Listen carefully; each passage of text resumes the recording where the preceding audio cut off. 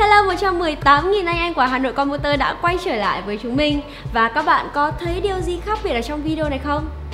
Vâng, chính xác. Đó chính là từ nay trở đi thì chúng mình sẽ thử nghiệm quay trên cái màn hình 219 để anh em có một cái trải nghiệm về hình ảnh khác hoàn toàn so với trước đây. Nếu như anh em đã đang sử dụng smartphone như là Samsung S9 Plus hay là iPhone X trở lên thì hãy quay ngay màn hình ra để có thể trải nghiệm cái cảm giác tràn viền. Còn nếu như anh em nào đang sử dụng PC thì có thể nhấn ở cái hình ô nhỏ nhỏ bên này này để có thể kéo rộng hình ảnh của video ra. Còn nếu đã sẵn có 219 rồi thì full screen ngay thôi nào các bạn ơi.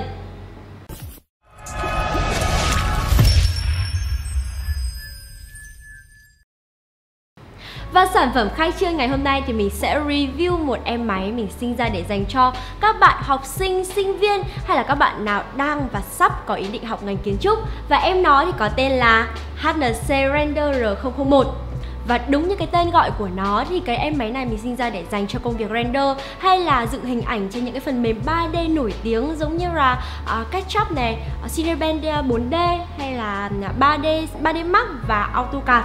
Và đó còn nếu như anh em nào mà uh, muốn một bộ máy dành cho gaming ấy thì uh, các bạn có thể xem lại ở các cái video trước mình đã review những bộ máy của Hà Nội Computer để có thể biết thêm nhé. Còn ngày hôm nay video này thì chúng ta sẽ chỉ bàn đến cái việc render thôi các bạn ạ với mức giá hiện tại là 19 triệu 700 đồng thì có thể nói là khá phù hợp với các bạn học sinh sinh viên. Chiếc Pro 001 này sở hữu những cấu hình phải gọi là khá cục xúc, bao gồm có hai CPU Intel Xeon E5 2680V3, tổng là 24 x 48 luồng xử lý hai thanh RAM ECC 16GB, SSD ở đây là 240GB và nguồn 700W đạt chứng chỉ 80 Plus Bronze. Tuy nhiên do CPU của chúng ta thì không có card onboard cũng như là chiếc mainboard Super Micro sử dụng không hỗ trợ xuất hình, thế nên là để dùng được thì các bạn phải trang bị thêm một card màn hình. Rẻ nhất thì có thể kể đến là GT710 với giá là 950.000. Nhưng để cân bằng giữa các tác vụ thì theo mình các bạn nên sử dụng những card có VRAM 4GB cỡ như là GTX 1650 hay là 1660 như mình đang cắm ở trong máy đây. Và nhắc đến ờ, những cái bộ máy workstation ấy thì mình nghĩ cái điều quan trọng nhất ở đây không phải là hiệu năng mà là cái tính ổn định khi mà sử dụng. À, so sánh với những bạn mà sử dụng máy để gaming thì đôi khi cái việc mà màn hình xanh hay là máy tự reset lại thì mình thấy là không quá ảnh hưởng tới cái trải nghiệm sử dụng của mình. À, vì đôi khi là các bạn có thể thấy là ở thua rank này thì chúng ta có thể cày lại ở một rank khác.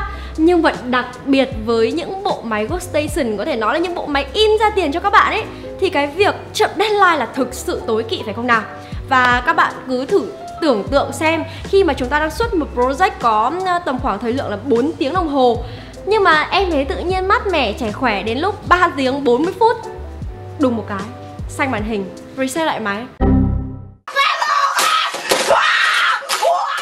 Anh em nghĩ thế nào? Cảm giác như nào? Thực sự là kiểu phát điên, tôi phát điên lên. Muốn đập máy ngay lập tức có phải không nào? Chính xác là như thế. Thế nên là mình nghĩ là với cái combo uh, gồm có mainboard uh, à, super micro này cpu xeon và kèm theo đó là ram ecc có tự uh, khả năng tự sửa lỗi thì với bộ ba này thôi cái việc mà xảy ra những cái lỗi vặt vãnh á mình thấy đã ít rồi chứ không phải là xảy ra những lỗi cực kỳ nghiêm trọng như là xanh màn hình hay là reset lại máy. Nên là anh em cực kỳ yên tâm với em nó nhé. Nhìn tổng quan về bề ngoài của bộ máy này thì thực sự là không có gì nổi bật Một phần bởi linh kiện dành cho workstation từ trước tới giờ thì tập trung chính vào cái sự ổn định khi mà hoạt động Chứ chả mấy ai lại trang bị đèn red RGB lập lòe thì làm gì cả Mặt trước thì gồm có 3 cổng USB, trong đó thì có hai cổng 2.0 và một cổng 3.0. Bên cạnh là jack tai nghe và mặt sau thì cũng không có quá gì nhiều ngoài 4 cổng USB 3.0, hai cổng LAN và cổng âm thanh 7.1. Cả hai cổng LAN thì đều có tốc độ gigabit nên là khá thoải mái trong việc thiết lập mạng nội bộ giữa các máy với nhau. Nhưng thực sự mà nói thì lượng cổng kết nối thế này là hơi ít và cũng chỉ vừa đủ cho các nhu cầu sử dụng cơ bản. Chứ nếu mà cắm nhiều phụ kiện thì có lẽ là hơi bị thiếu. Bên trong thì hai chiếc tản nhiệt Cooler Master T400i gần như phủ trọn toàn bộ mainboard và hút gió từ khu vực phía trước cây. Với kiểu setup như thế này thì chiếc CPU thứ hai chắc chắn sẽ nóng hơn bởi vì không có được lượng không khí mát mẻ và phải trực tiếp lấy gió nóng từ CPU 1.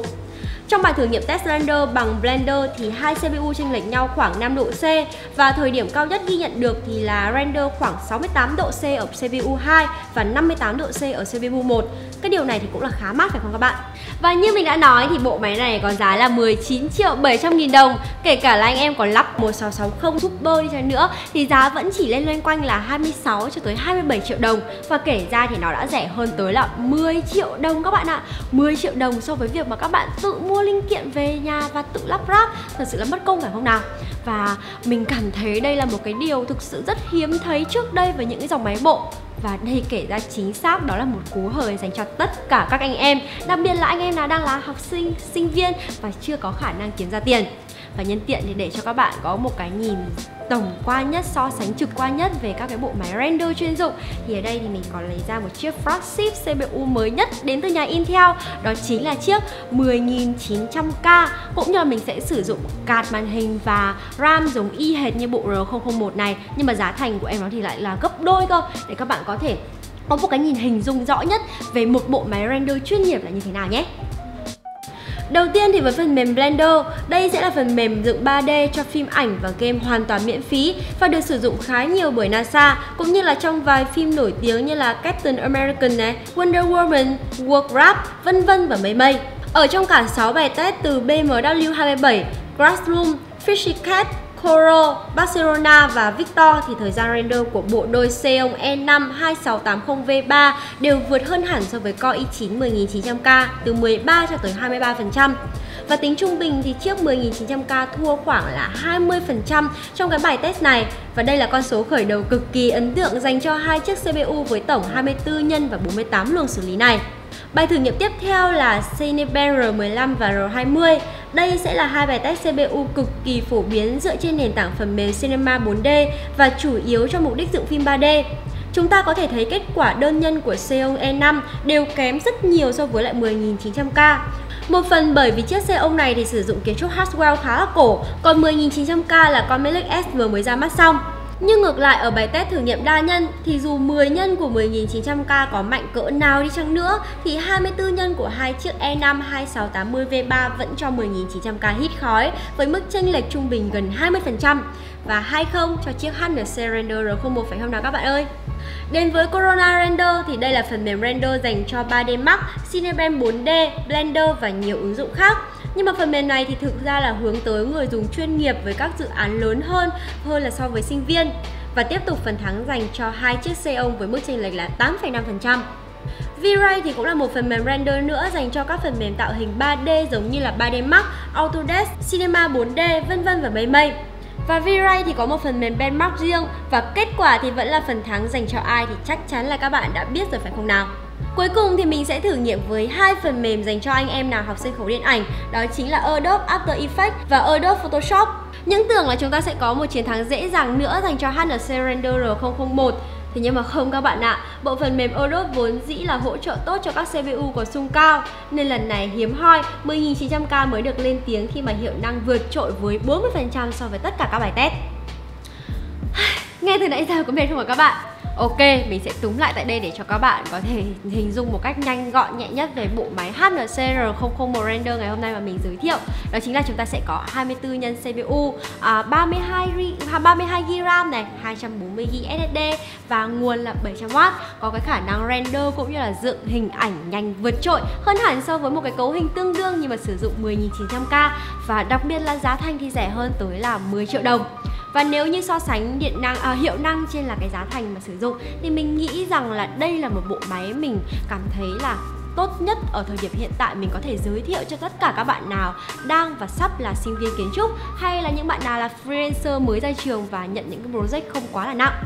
Và đặc biệt thì uh, bộ máy nào cũng vậy không trừ một bộ máy nào ra thì các bạn đều có những cái điểm yếu riêng và cái gì thì cũng có điểm yếu của nó phải không nào? Ngoài việc cổng kết nối cũng như là ngoại hình của em nó thì không được bắt mắt cho lắm. Thì cái hiệu năng xử lý bộ phần mềm Adobe của em HNC Render R001 này thì uh, hơi kém một chút. Uh, Do là cái xung cấp cũng như là cấu trúc à, uh, CPU đã cũ rồi. Uh, Nhưng mà bên cạnh đó nếu như sử dụng đúng mục đích uh, Sử dụng uh, vẽ vời trên các phần mềm 3D hay là xây dựng mô phỏng những cái uh, cấu trúc nhà cửa của các bạn nào mà đang học kiến trúc Thì mình nghĩ là anh em sẽ không thể nào tìm đâu ra được một bộ máy với cái tiêu chí gọi là ngon, bổ, rẻ như là em HNC Render R001 này được. Còn về cái câu chuyện như là cảm chúng ta dựng phim hay là uh, hình ảnh trên bộ phần mềm Adobe thì hẹn các bạn ở một video khác với một câu chuyện về phim 4K không chê nhé. Video ngày hôm nay của chúng mình đến đây là kết thúc rồi. Các bạn cũng đừng quên like, share và subscribe kênh cũng như là nhấn quả chuông thông báo để có thể không bỏ lỡ bất kỳ một video nào tiếp theo của chúng mình trong thời gian tới. Còn bây giờ thì Nami xin chào và hẹn gặp lại các bạn trong những video tiếp theo tại Hà Nội Computer.